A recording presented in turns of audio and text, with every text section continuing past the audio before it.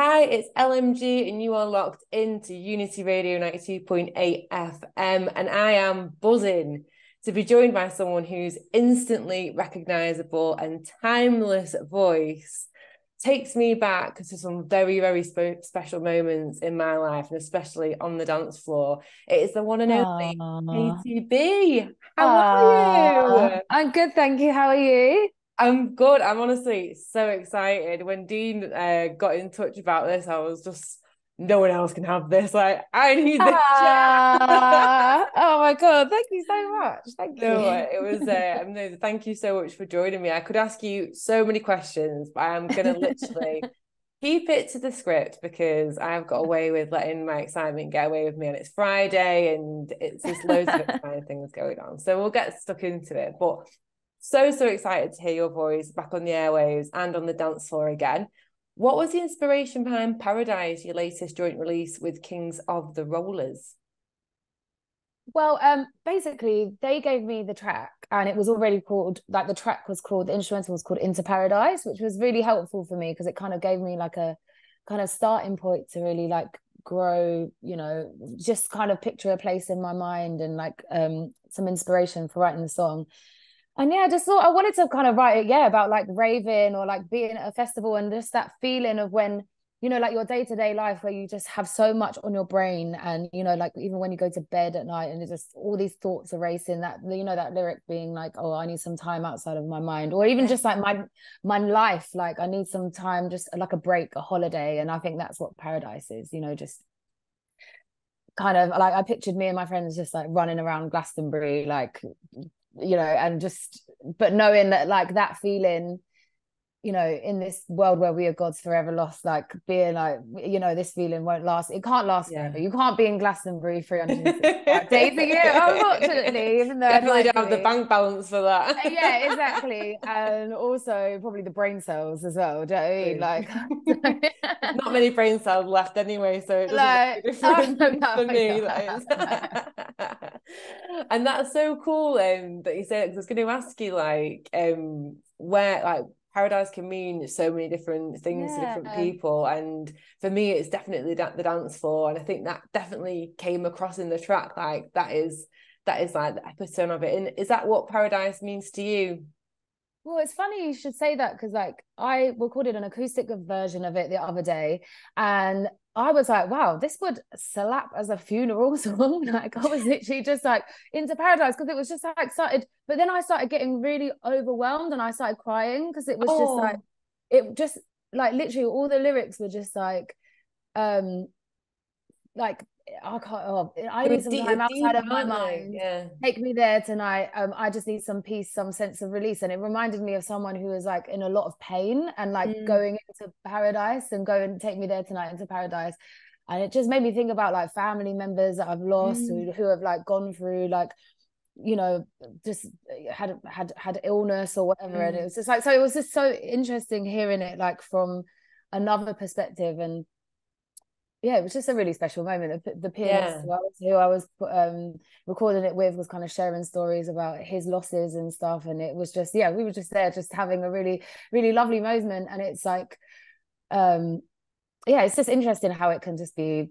It's a, a nice song because it can be like interpreted in many different ways. Basically, definitely, yeah. definitely, yeah. I yeah. What is what's what's paradise for you? you I mean, paradise is like it, you know being on a beach with a cocktail. And oh, it is you know? any dance floor for me. Any dance floor. Dance just, just that being being in the crowd and just like you're looking around at strangers and you just know that you're all you're in it together and you just got that yeah. feeling that you just you're just a team and it's you're just like yeah we're gonna team, yeah. make we're it in through. this yeah we're gonna yeah exactly we're troopers we're gonna we're in this together yeah definitely definitely, definitely. that feeling of connection definitely yes.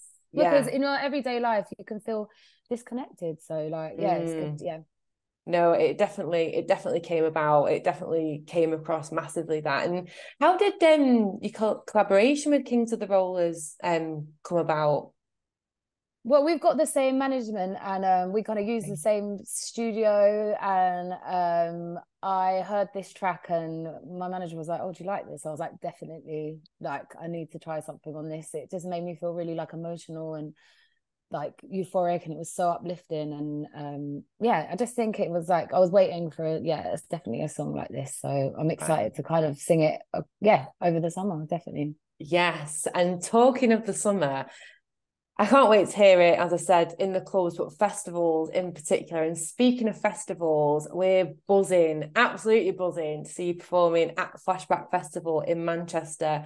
And it's coming up soon. How are you feeling about it?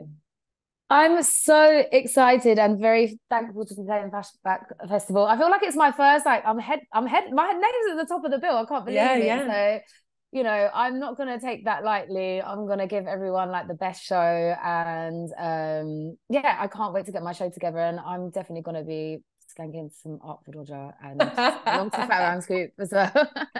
and it'll be great it. to be in Manchester as well because like the crowds are always just the best in Manchester. Yes, um, big up the 0161. But I'll put that in there. yeah. so sure yeah, listeners will be buzzing to hear that one thousand percent. And what can people expect from a Katy B performance, especially like at flashback? Um, just I always kind of like try. I, am starting to think about my set as well. You know what I'm what songs I'm going to put in, and I always like to kind of keep the energy up. Mm. Um, but you know, I like to have moments where it's kind of like I don't know. I think I'll be doing like "Crying for No Reason" and all of those songs as well. So yeah, just take you on a little journey, really. You know. But I've been in the gym. I've been, you know, jumping around trying to get my fitness up. So yeah, the energy is going to be strong hopefully and um yeah i'm just going to give it 100 percent and yeah wicked wait. wicked i mean i wasn't blessed with a beautiful voice like yours so credit to you oh. i find it difficult jumping around just on the regular let alone singing as well and making it sound good that is a talent that isn't I'd underestimated talent one thousand percent. Oh, I mean, yeah, I mean, I yeah, I definitely get out of breath sometimes. But, uh, yeah, the I, let the audience, I let the audience sing on those bits. Yeah. yes, yes. Now I know. Now I know. I'll clock that. and what's your favorite thing about performing live? Favorite thing i think it's just like the adrenaline mm. seeing people enjoy your music it's you know you you write stuff in the studio and just to see it kind of come to life and um yeah people just having a having a lovely time because of something that you've written and you've created and you know as you said just like bringing people together you know sometimes it's like you're like literally what do i do for living is just like jump around and like yeah. whatever but like it's still you know in those moments you're like oh it, it, yeah you, it makes it worthwhile and you're just yeah that you're bringing like joy to people i suppose yeah yes 1000% i totally agree and so my show at unity radio is all about celebrating rave culture um and I wanted to ask you, as someone you know who's pivotal in the scene and everything, why do you think dance music and raving is important to culture? There's no like easy answer with this one. It's different for everyone too. Because I feel like when people rave and they dance and they come together, you know, people go to, they want to hear the music that they want to hear and it brings like-minded people together which mm. creates you know it, it, it, creates you know as, as, you said like a scene or a particular sound and those sounds you know evolve and you know people bring all their different influences in and you know create something extremely extremely special and it's just always evolving and always changing and you know it's you know a lot of places like this they're un- they're underground and are allowed to flourish you know without mm.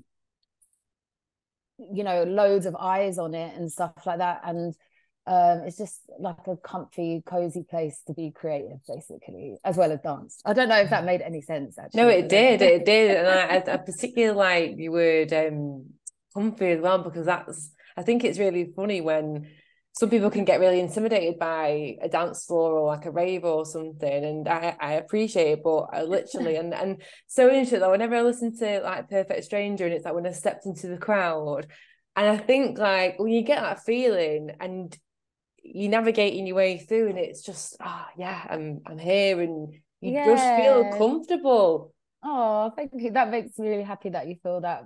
Um you know, it's yeah, it does. You're just like, oh, it's like you can relax. Like, Yes. you know, you're just like, oh, I can relax. This is this is this is what this is yeah, like when I like literally walk into a club, I'm like, oh like it's so funny because it's it must be as you said, like really noisy and disjointed for other people. But for Yeah. us, it's like, no, I'm home, I can relax. Yeah, yeah. I'm like, oh, that's where I've, I've been. I've been longing for this for so yeah. so long. Sounds like we need to go raving, Katy. Baby. I know we do. Yeah. oh my gosh. Well, I know like you're super, super busy. I've only got three minutes left um of asking you of asking you questions. But one last question. Where can people expect to find you like over summer and how can they keep in touch with what you're up to? Um, if I'm most active on my Instagram, I got locked out of my Twitter the other day. I don't know what the Oh. hell happened there. So we managed. We I've been emailing them for like the past week. So Elon yeah, Musk uh, sort it out. Elon, sort it out, mate. um, so yeah, Instagram is probably where I'm most active. So I'm going to be posting lots of stuff on there, but also actually my Spotify. If you follow me on my Spotify, that's all my gigs for the summer are on there. That's the place where I actually I go and check where I'm playing. Um, okay.